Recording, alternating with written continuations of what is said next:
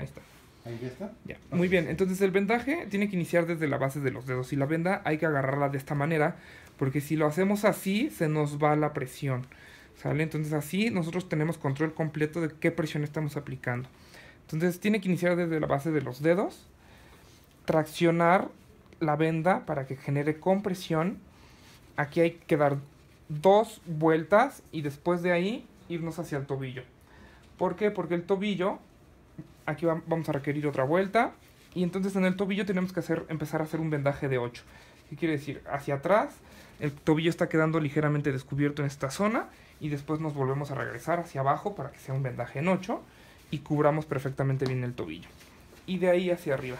Entonces vuelve a ser uno hacia arriba, uno hacia abajo. Uno hacia arriba,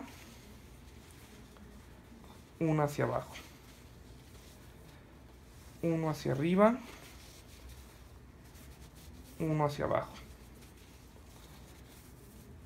Uno hacia arriba y uno hacia abajo.